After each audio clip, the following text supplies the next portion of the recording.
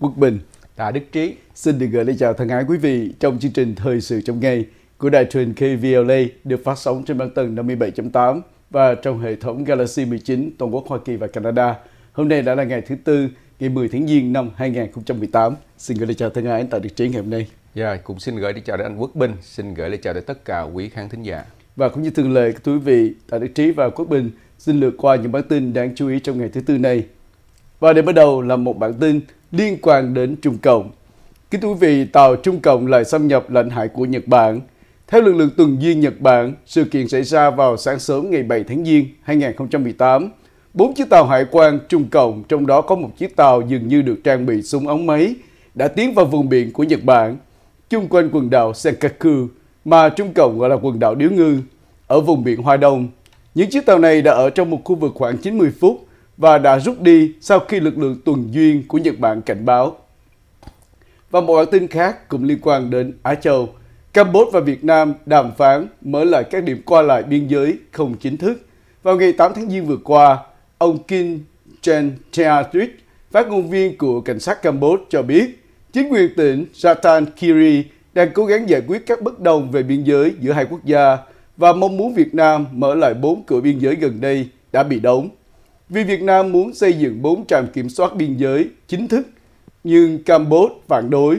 Chính vì thế Việt Nam đã cho đóng cửa bốn điểm qua lại vùng biên giới không chính thức, nhưng rất đông dân chúng của cả hai quốc gia thường xuyên sử dụng để buôn bán và làm ăn. Và cũng một bản tin liên quan tới Biển Đông. Tai nạn tàu chở dầu Iran bị cháy tại Biển Đông. Trung Cộng lo ngại thảm họa tràn dầu con tàu San Chi mang cờ hiệu Panama dài 274 mét, 1.136.000 tấn dầu bị bốc cháy tối ngày 6 tháng Giêng sau khi đụng phải một tàu vận tải Trung Cộng cách bờ biển Thượng Hải khoảng 300 km. Tàu vận tải Trung Cộng mang cờ hiệu Hồng Kông chở 64.000 tấn ngũ cốc từ Hoa Kỳ về Trung Cộng. Trên tàu có 21 thành viên thủy thủ đoàn người Trung Cộng tất cả đều được cứu sống. Trong khi đó toàn bộ thủy thủ đoàn của tàu chở dầu gồm 30 người Iran và hai người Bangladesh đều mất tích. Tính thời điểm thời điểm hiện nay, đội cấp cứu mới chỉ tìm được thi hài của một thủy thủ chết trên tàu. Nếu toàn bộ lượng dầu từ tàu Iran bị đổ ra biển, thì sẽ là một trong số những thảm họa môi sinh lớn nhất trong nhiều thập kỷ qua. Singapore bắt 17 người tình nghi trộm dầu của hãng Shell. Bộ Tư pháp Singapore ngày 9 tháng Giêng 2018 truy tố 11 người trong số bị câu lưu, trong đó có hai người Việt là thuyền viên và thuyền trưởng của chiếc tàu chở dầu nhỏ bị tình nghi được dùng để tàn trữ số dầu lấy trộm được.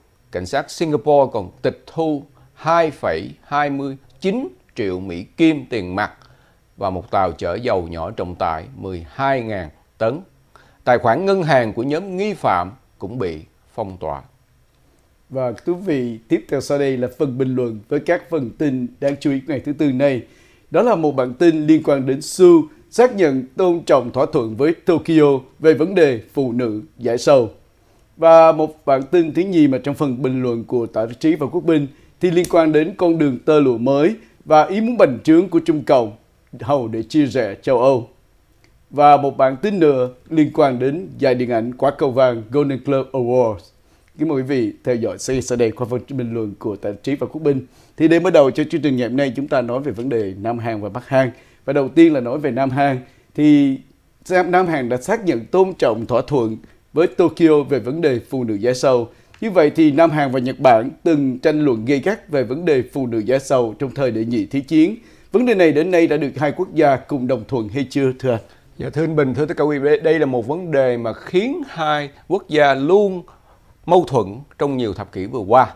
Và sau một thời gian dài để mà ngỏ cái khả năng đòi hỏi chính phủ bên Đông Kinh Nhật Bản đó, đàm phán lại một thỏa thuận song phương trên vấn đề phụ nữ giải sầu đó chính phủ Hán Thành của Tổng thống Moon Jae-in chính thức loan báo chấp nhận thỏa thuận từng gây tranh cãi này vào ngày 9 tháng Giêng 2018 thưa anh.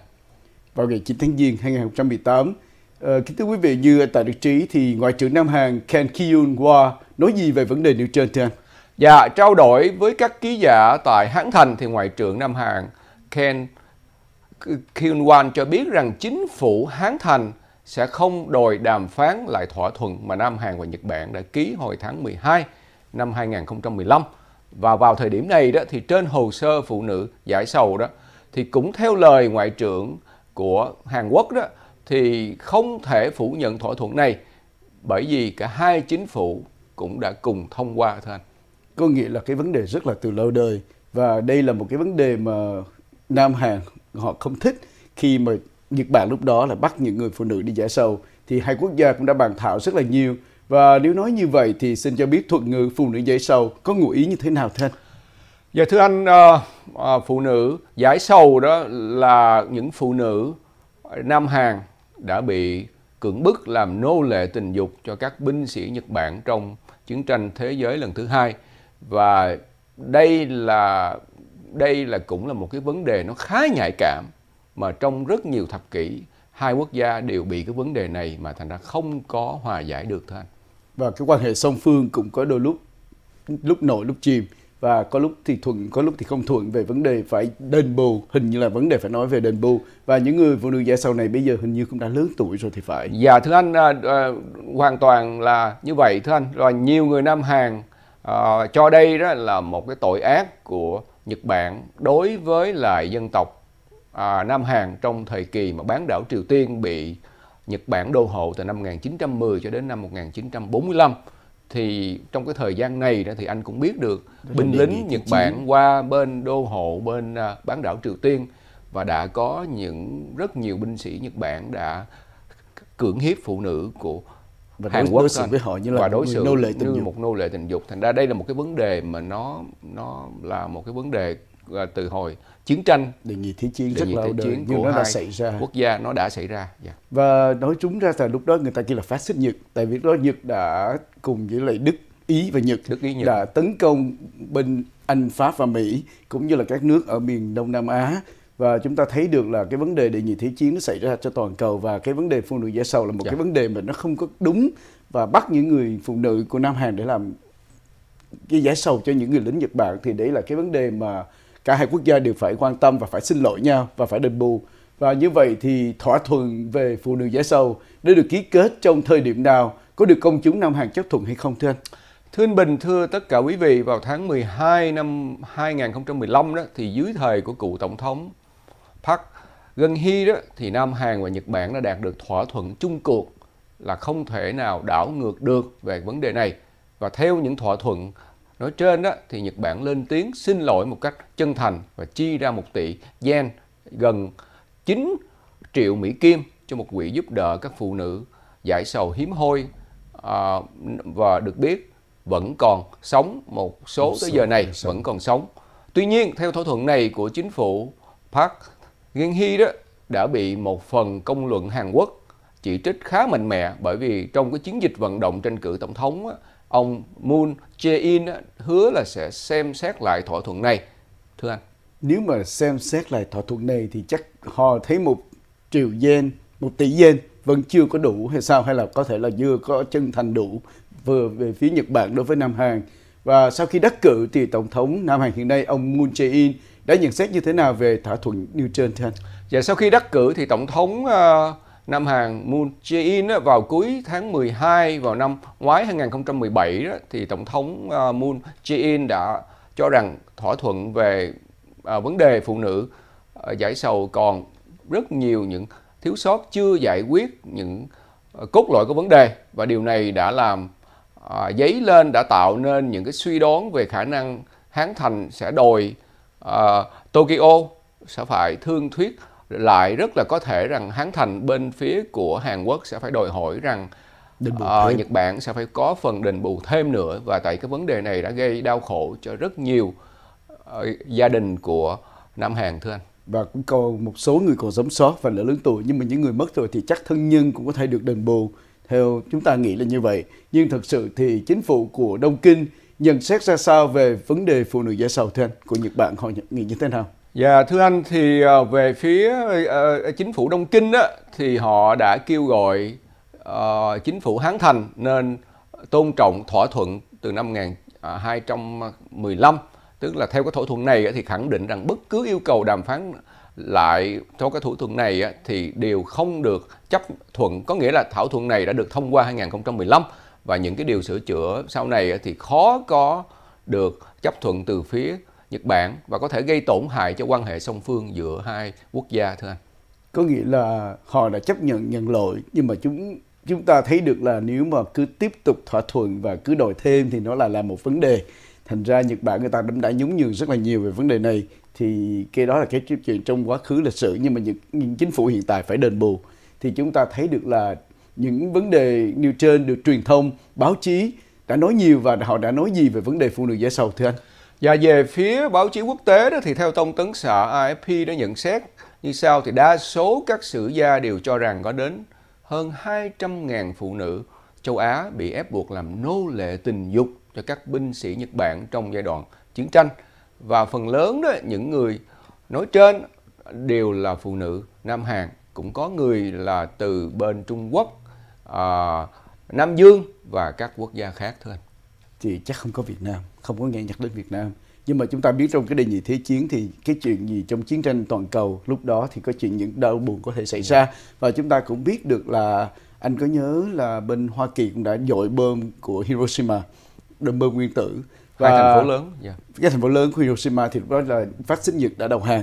Và chúng ta thấy được là trong cái đó cũng có có những cái số người chết rất là lớn và ảnh hưởng tới bây giờ thì Hoa Kỳ có xin lỗi hay không, chúng ta cũng không có thấy được. Tại đó là những cái chuyện xảy ra trong quá khứ. Và bên Trung Cộng thì bắt bên bên bên Nhật Bản phải xin lỗi. Hình như bên Trung Cộng cũng có đòi đòi bên đó phải xin lỗi về vấn đề chiến tranh hồi đề nghị tiến chiến.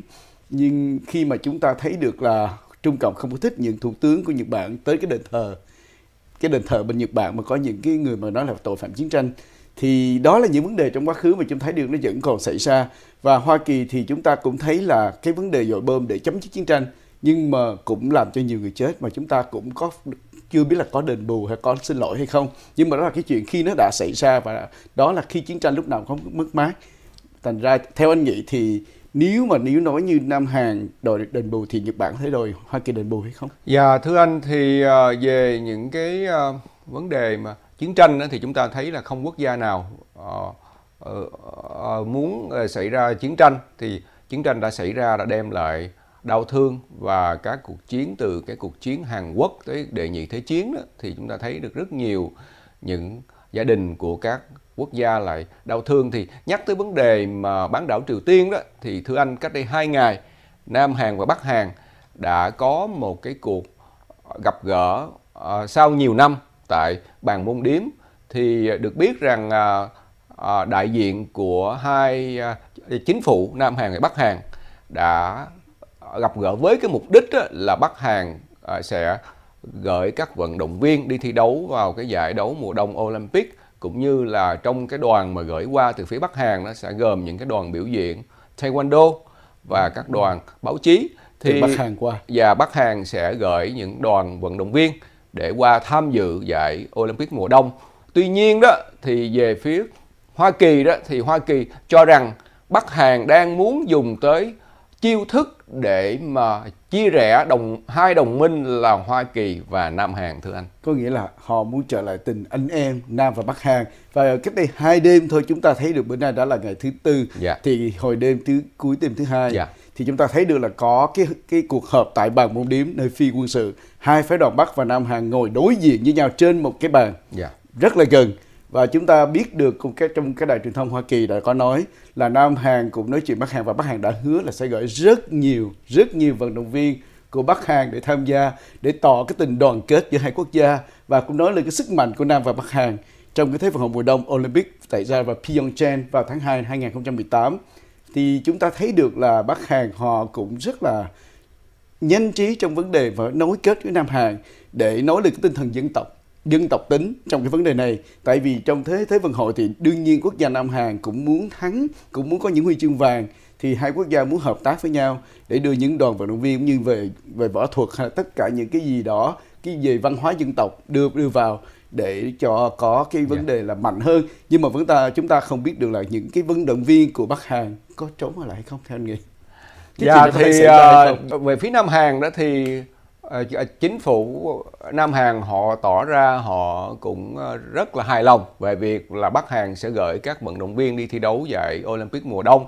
Tuy nhiên đó các nhà phân tích trên thế giới thì họ cho rằng á, Bắc Hàn chỉ muốn cái cơ hội này để mà kéo thêm thời gian mà thôi chứ thật ra thì Bắc Hàn ờ, luôn có cái chính sách và chủ trương muốn tiếp tục bành trướng thế lực tại bán đảo Triều, ờ, Triều Tiên cũng như muốn tiếp tục cái việc mà thử vũ khí hạt nhân rồi tên lửa đạn đạo. Thành ra Hoa Kỳ hoàn toàn không có tin tưởng rằng thiện chí của Bắc Hàn thưa anh.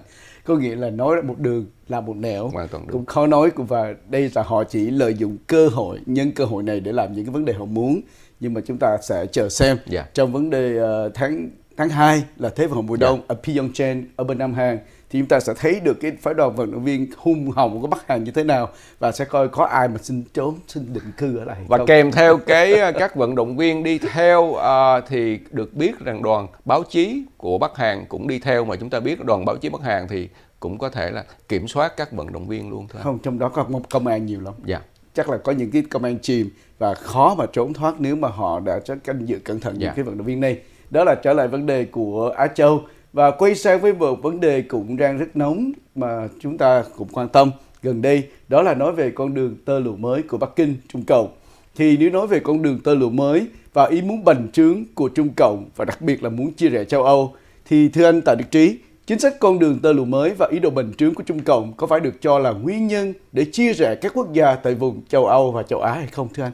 Dạ thưa anh, thì trước khi Tổng thống Pháp Emmanuel Macron thực hiện chuyến công du 3 ngày đến Trung Cộng thì bắt đầu từ ngày 8 tháng Giêng 2018 à, thì các nhà quan sát đã khẳng định rằng một số những trọng tâm của chuyến công du này là kế hoạch lên kế hoạch con đường tơ lụa mới. Và theo kế hoạch này được xem là hồ sơ ngoại giao quốc tế quan trọng nhất thế giới trong những năm à, sắp tới liên quan tới Pháp Quốc và Trung Cộng thôi.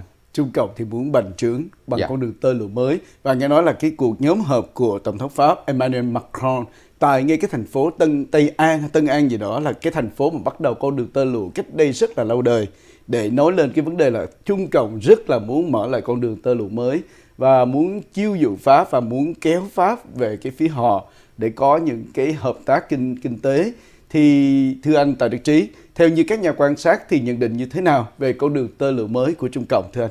Vậy thưa anh, theo các nhà phân tích á, thì ờ, ý muốn bành trướng của Trung Cộng khá rõ ràng và Trung Cộng đang có thể hiện cái ý muốn bành trướng của mình trong kế hoạch là con đường tơ lụa mới. Và theo cái con đường tơ lụa này đó thì con đường tơ lụa này sẽ đang gây uh, chia rẽ tại các quốc gia trong Liên hiệp châu Âu. Bởi vì uh, rất nhiều dư luận tại châu Âu đó thì người ta đang có uh, đợi xem quan điểm từ phía Pháp là quốc gia là đang có ờ, đang có phát triển và cái đang có uy tín tại liên tại liên hiệp châu Âu đó các quốc gia trong cái khối này đó họ đang có đợi xem Pháp có những cái giải pháp gì về những cái kế hoạch trước cái sự bành trướng của Trung Cộng qua cái con đường tơ lụa mới này hay không?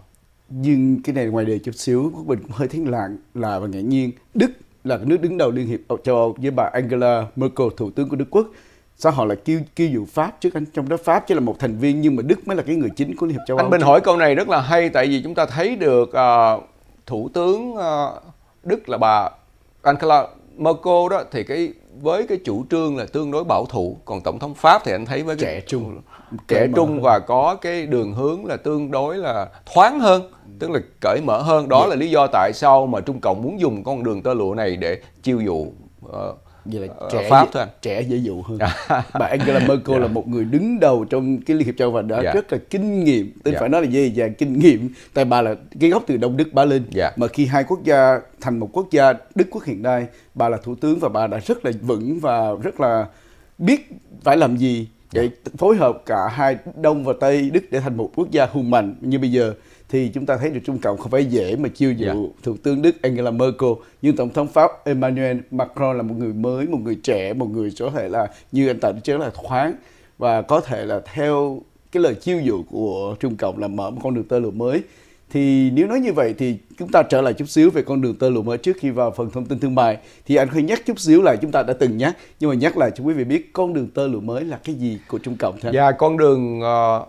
tơ lụa mới theo cái chính sách của Trung Cộng là một vành đai một con đường là một cái dự án của Trung Cộng được uh, Chủ tịch Cộng sản Trung Cộng à, Tập Cận Bình đã loan báo từ năm 2013 và đây cũng là cái kế hoạch để xây dựng cơ sở hạ tầng khổng lồ bao gồm một tuyến đường bộ phận xuyên qua vùng Trung Á và Nga cũng như một tuyến đường biển cho phép Trung Cộng tiếp cận châu Phi và châu Âu qua ngã Biển Đông và Ấn Độ Dương.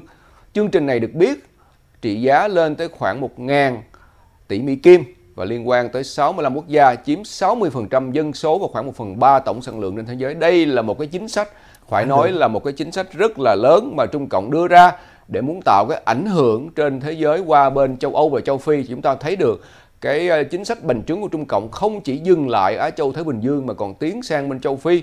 Mà trong thời gian vừa qua Trung Cộng đã ảnh hưởng rất nhiều các quốc gia tại châu Phi. châu Phi qua những cái thương lượng mậu dịch và những cái những cái hứa để mà uh, giúp các quốc gia này hồi, hồi phục cái vấn đề uh, kinh tế. Uh, từ đó cho thấy rằng Hoa Kỳ cần phải cẩn thận hơn để mà mở rộng thêm những quan hệ đa phương và hai là song phương với rất nhiều các quốc gia trên nhiều vùng trên thế giới. Thưa nhiều khi chúng ta không bỏ quên châu Phi được và cũng không có nên bỏ qua những cái quốc gia châu Mỹ Latin.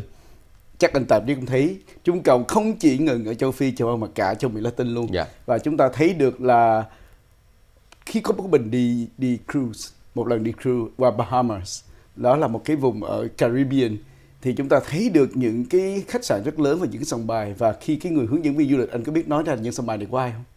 Của Trung Cộng. Wow.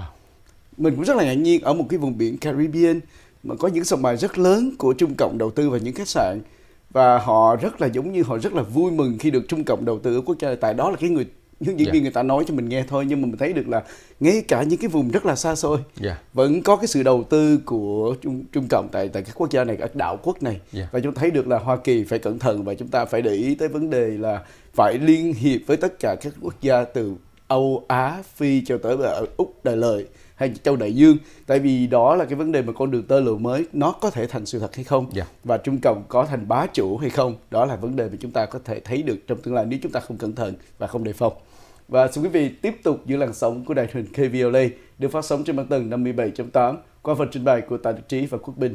Chúng tôi sẽ quay trở lại ngay sau một vài thông tin thương mại ngắn. Xin ơn cảm ơn quý vị.